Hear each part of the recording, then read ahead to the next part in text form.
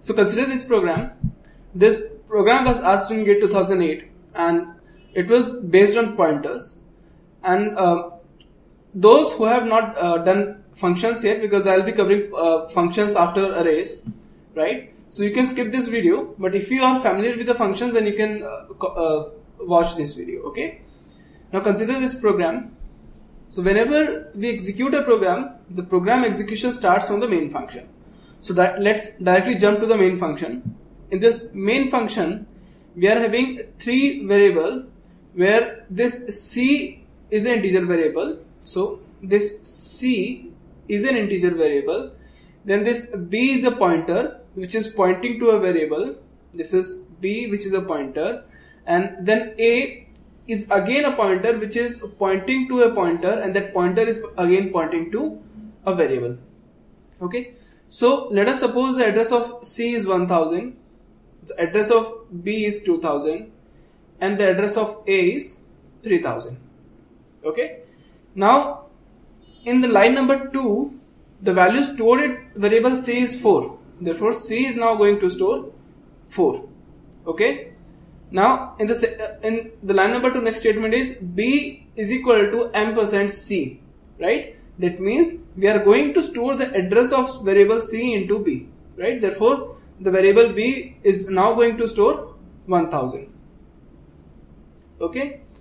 In the next statement we are having a is equal to ampersand b right?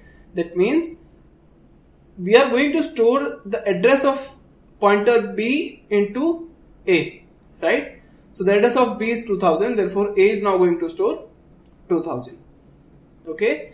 Now in the line number 3 we are calling a printf statement and in this printf statement we are calling a function.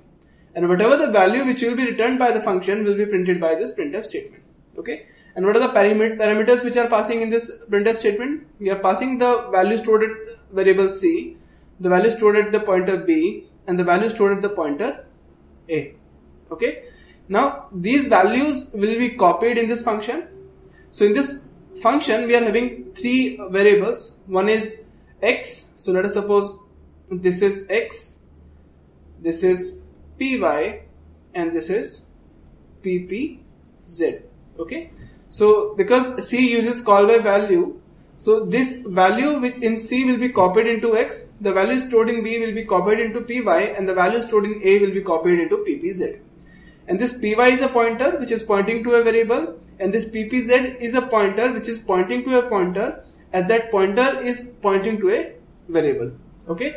So when we call this function the value stored in is which the value which is copied in the variable x is now 4 the value which is copied into this pointer py is 1000 and the value which is copied into the pointer ppz is 2000 okay? Now in this function we are having two more variables that are y and z. So let us suppose this is the variable y and this is the variable z. So the next line we are doing star star ppz plus equal to 1 right? You can write this statement as star star ppz is equal to star star ppz plus 1 okay? Now if you look at this statement here we are using two stars right? If you bracket this complete statement it will be like this. Okay? That means whatever the address stored in ppz we are going to do star of this and whatever the value which we got after that we are, going to do star of that. That means the value stored in uh, ppz is 2000 that is which is the address. So because of this first star we are going to go we will go to this location 2000 so we'll go to this location 2000 and we'll take the value 1000 right? So because of this first star we will get 1000 so this statement will become star of 1000 okay? And star of 1000 means we are going to we'll go to the location 1000 and we'll take the value. Okay? So the location 1000 is storing value 4 so this will return me 4. So this statement will become 4 plus 1. And this 4 plus 1 value is stored in this location which is which will be given by this statement. Okay. Okay, from this first star, we'll go to the location 2000 and we'll see what is the value stored at that location. So after this first star, we'll get the value as star of 1000. Okay.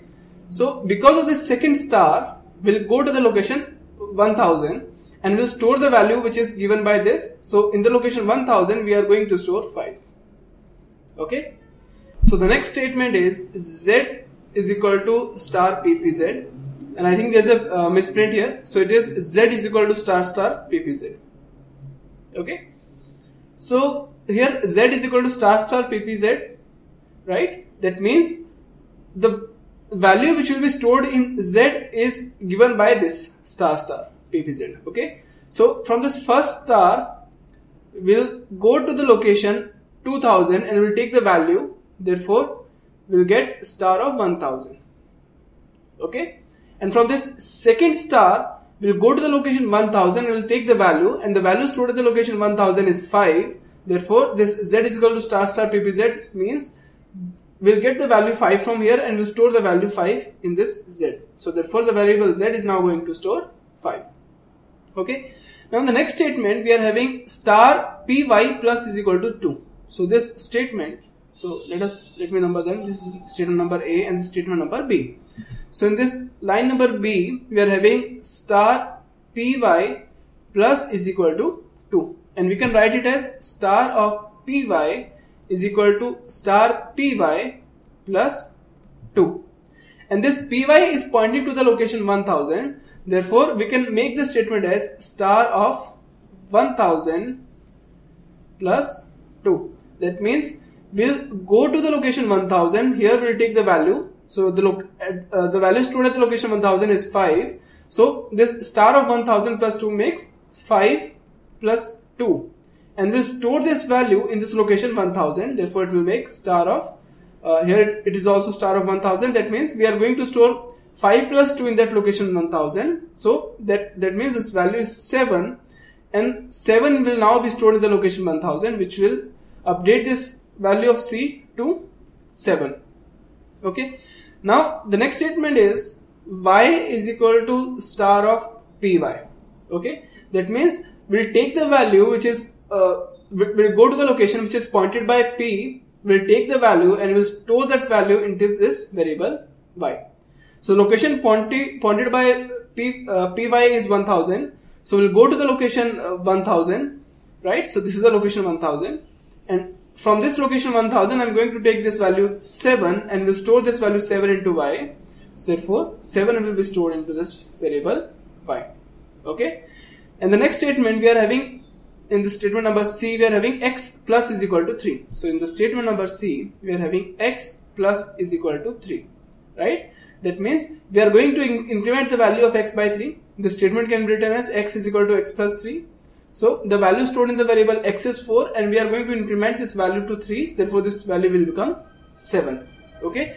Now in this return statement we are returning x plus y plus z okay? So the value of x is 7 the value stored in y is 7 and the value stored in z is 5 therefore 7 plus 7 is 14 14 plus 5 is 19 therefore this function is going to return with the value which is 19 right so this printf statement is now going to print 19 and the option number B is correct.